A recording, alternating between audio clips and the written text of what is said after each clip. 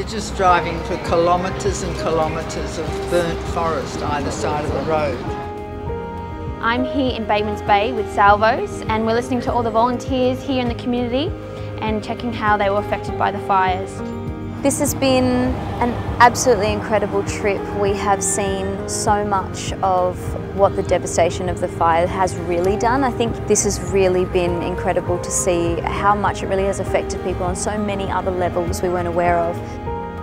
We've just been up at the Recovery Centre in Ulladulla just providing some assistance for people who have been affected by the bushfires and it's just been overwhelming to see the way that donations from the public have translated into real practical help for people who really need it.